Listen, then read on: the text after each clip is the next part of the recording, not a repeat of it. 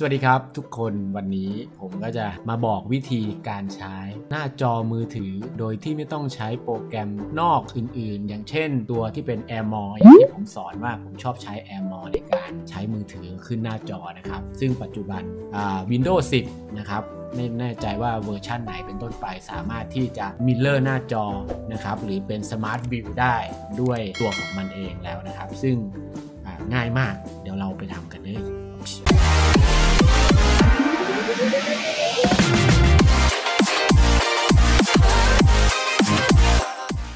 ก่อนอื่นนะครับเราก็ต้องมาดูที่ตัวของหน้าจอเรานะครับ ว่าพร้อมที่จะพรีวิวหรือใช้ในโปรแกรมอะไรหรือเปล่านะครับ ซึ่งเดี๋ยวผมจะเลคคอร์ดหน้าจอให้ดูเป็นยังไงนะครับทีนี้เรามาดูเลยว่าเราจะทำยังไงนะครับทีนี้เราก็มาดูที่ Display Setting นะครับ การ Setting นี่ง่ายมาก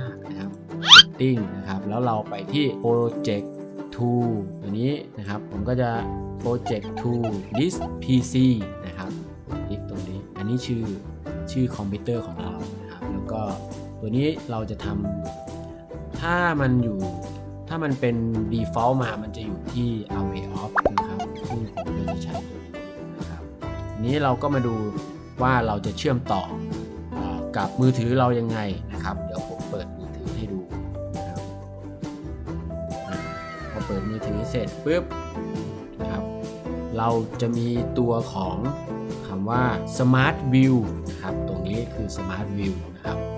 ดังนั้นให้เราเลือกที่ Smart View แต่ว่ามันต้องขึ้นอยู่กับว่าเขาเรียกอะไร Wi-Fi วงเดียวกันนะครับอ่าเห็นไหมครับ มันจะตรงกับตัวนี้นะครับ ซึ่งถ้าสมมุติว่าเครื่องเรามาโชว์ตรงนี้แล้ว มันจะถามให้เรา Connect ว่า Connect หรือเปล่า ถ้าสมมุติว่าของผมต่อ 2 จอนะครับเดี๋ยวจะสวิตช์ให้ดูว่าหน้าจอแรกขึ้นแบบไหนตรงนี้เห็นไหมครับ มันจะขึ้นให้เรา Connect หรือเปล่านะครับ ถ้าสมมุติว่าเราเลือก allow once นะครับ มันก็จะแค่ครั้งเดียว และครั้งต่อไปเราก็ต้องทำแบบนี้อีกนะครับ แต่ถ้าเราขี้เกียจกดนะครับ เราก็ท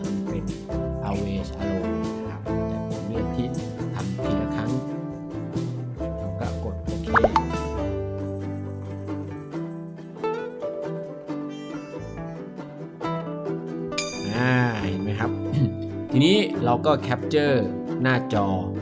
หรือว่าเอามาใช้งานหน้าจอได้เสร็จเรียบร้อยแล้วนะครับทีนี้ตัวนี้ก็เอา smart cap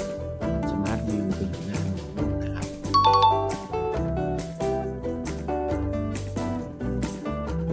อันนี้คือตัวที่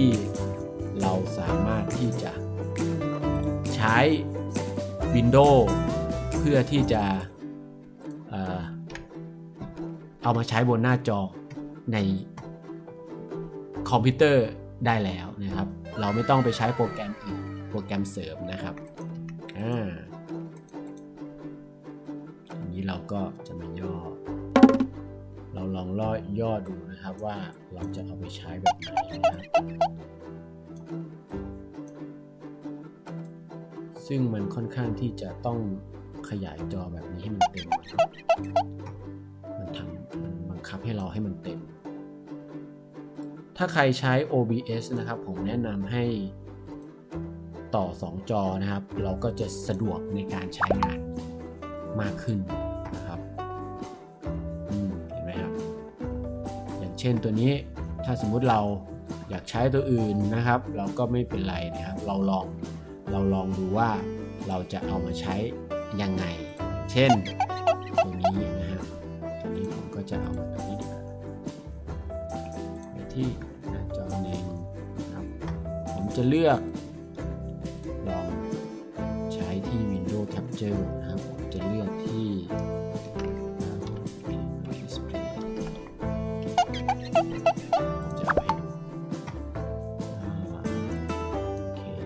ไปเลือกที่ receive connect นะครับนี่ก็มาแล้ว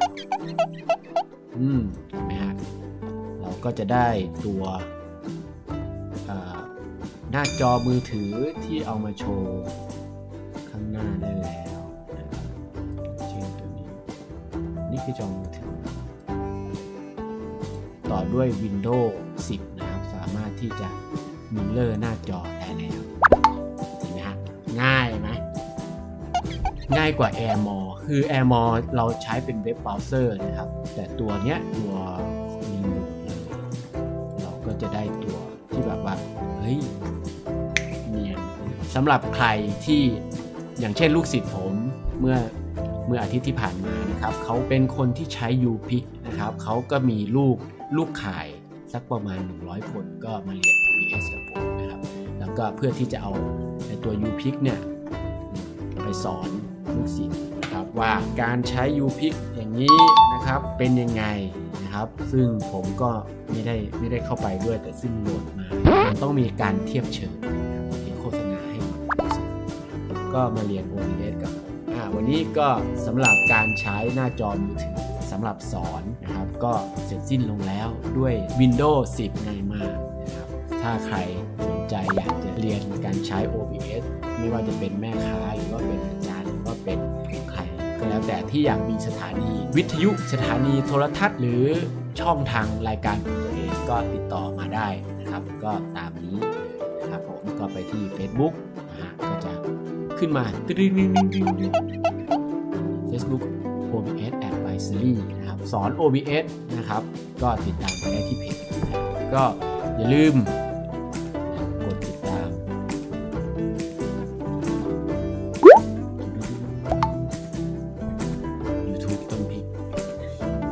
YouTube ต้นพริกแล้วก็ S